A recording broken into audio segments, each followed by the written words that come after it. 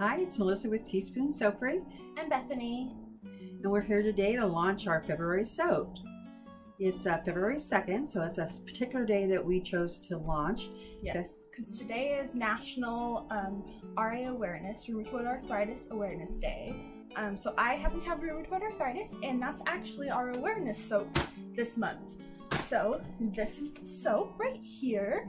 Um, it is scented in blueberry and grape, a little bit of peach, raspberry, very fruity, um, and has some beautiful glitter on top. Um, smells delicious. Um, and so this one is to bring awareness to rheumatoid arthritis, like I said, which is an inflammatory disorder that um, happens when your body attacks its own tissues.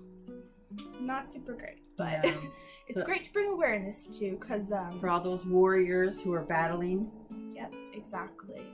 Um, and then our second soap is Conversation Hearts. You know how to put the Valentine's Day in there. Um, this one is Conversation Hearts.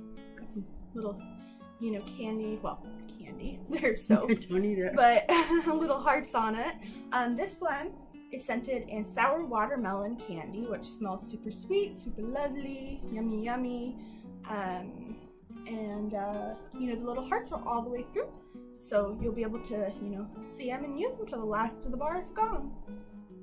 Um, our next Valentine's Day soap is this one. This one is Lost Love Letters. Um, this one is scented in cinnamon candies, like the red hot candies that you, so um, you know, get for Valentine's Day. Um, they smell really great. Um, it is body safe. Some cinnamons aren't, but this one definitely is body safe. Got some little candies on top. Don't eat the candies. um, but they're safe for the shower and everything. Um, and again, this one has the heart that goes all the way through. Um, so you have a little heart until the last of the soap is gone. And then our last soap for this month, our favorite, yes, is um, whoop, puppies. um, our last soap of the month is uh, Miss Elizabeth, which is Pride and Prejudice themed. Um, see the little beautiful cameo on it, some little, um, you know, colorful speckles, green and pink. Um, this one is scented in Country Garden, which is a beautiful, like, bright, fresh floral um, of some rose petals, carnations, a little bit of clover, ivy in there. Um, smells super great, as always. You know, smells delicious. Um, so thank you for watching. Um, that was our February release. Our soaps go on sale today, and though it's February, there's also good soaps like this one for birthdays, anniversaries, just for your best friend. Valentine's? Galentine's. Galentine's Day. so, um, a new feature today is we have Etsy. Yes, we are selling on Etsy as well. Um, you'll find us Teaspoon Soapery um, on Etsy and on Instagram and Facebook and um, you know our website and we have uh, TikTok now. So Miss Beth has been so busy. Yeah. So I'm glad you joined us.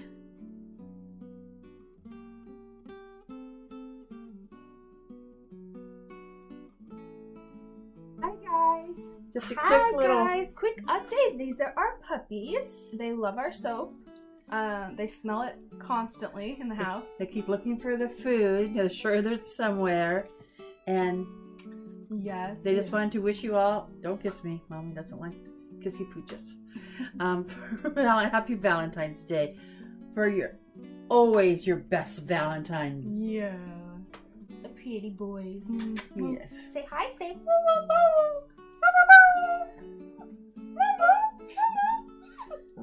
you have to say Happy Valentine's. Say it. Say Happy Valentine's Day. Oh, good job. Thank you.